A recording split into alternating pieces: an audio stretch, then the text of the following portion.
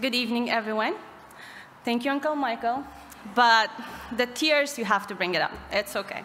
And uh, that's a joy tear to see you here, but I dearly miss, um, I call an aunt, and, but also a mother who got me through the best and the worst.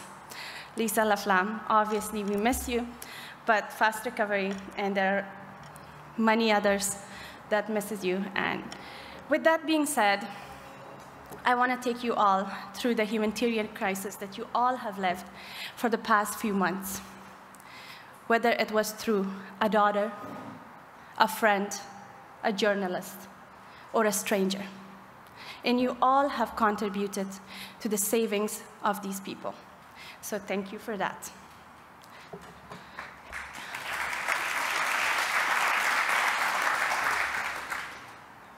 This journey, I want to say, for me, was an incredible frustration, cries, and times laughs.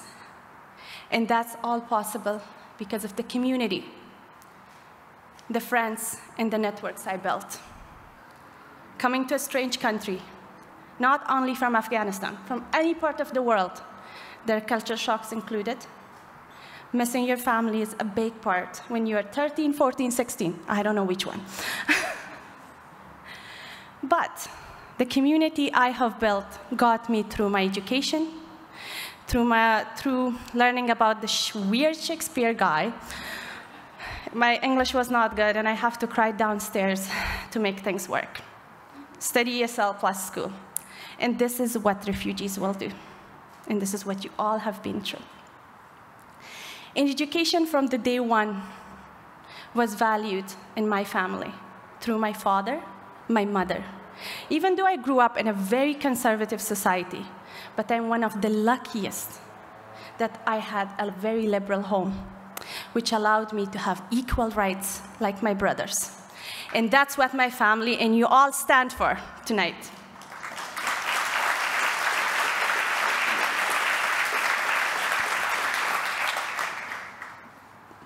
But that was only possible for a few years. After the common enemy took the few days of happiness of my life, that was my father. A police officer that believed in education, in equality, in humanity. Because why would I justify as a girl that I'm not equal? It should be given to me. But as my, thought, as my father taught me, nothing is given to you, you have to take it. And that's every Afghan girl, every girl in any part of the world should do. We have to stand for ourselves. And that's what happened with the community of people where they saw my dad's sacrifice that have worked for peace, equality, women's rights, and her five daughters our PhD from Afghanistan.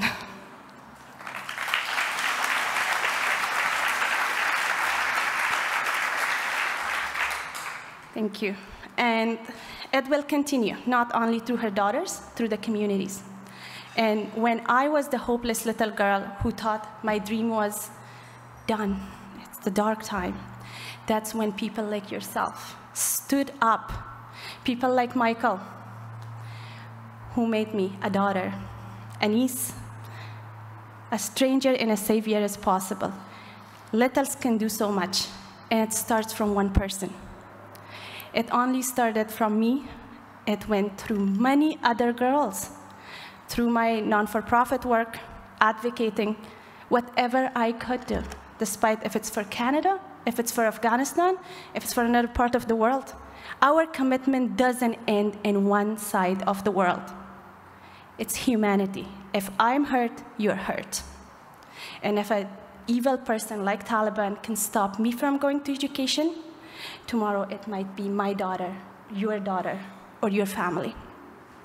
And that's when it started with my family. Hearing about the provinces of Afghanistan are taken away and slowly the schools are closing.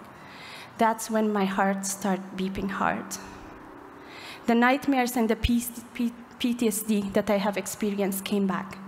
because the girls I was in contact and was sponsoring to non-for-profits and working different parts was reaching out and I couldn't do anything, leave alone my own family.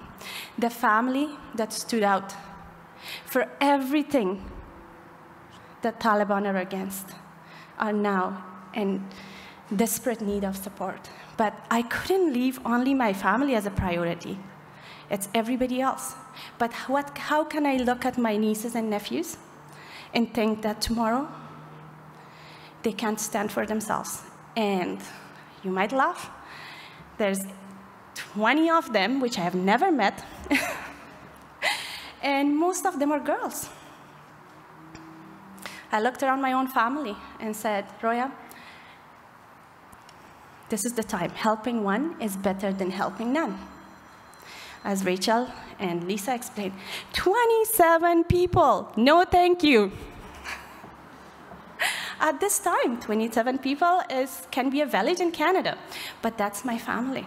And that's not only my family in terms of blood and everything, but that's the girls that I want to run this country. And that's what I would do. It will take me days, just not me.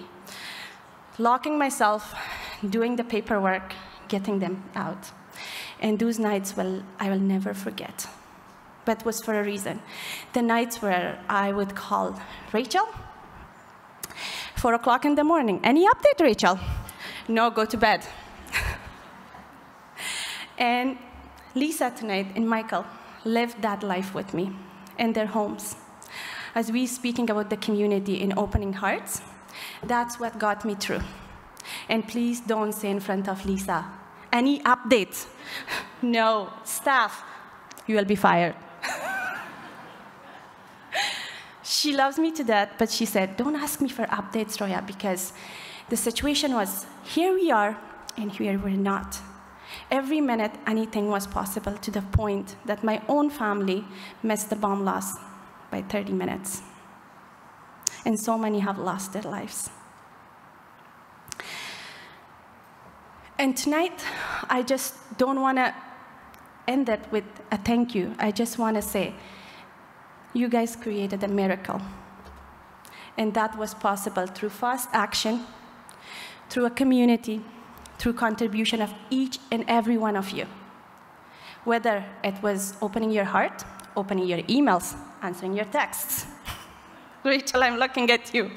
And Michael, when I was at my downest point and said, you are on a flight at 4 p.m. No option. And that got me through. And tonight I want to say, nobody is poor when they have a big heart. No country is small when we have great minds. And let's not forget those girls. Let's give that power, even though we are facing a monster right now, but that monster should not succeed and let's vouch for all women and girls and humanity. Thank you.